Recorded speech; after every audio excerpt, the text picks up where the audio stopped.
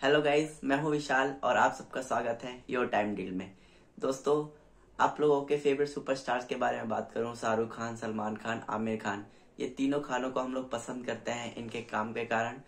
तो दोस्तों ये बात चल रही है कि ये तीनों आप बॉलीवुड के साथ साथ मतलब मूवीज़ के साथ साथ कुछ ओ टी प्लेटफॉर्म पे भी काम करने वाले हैं ये बात चल रही है। सो so, रिसेंटली अभी सलमान खान कुछ ओ टी प्लेटफॉर्म में आने की बात हो रही है।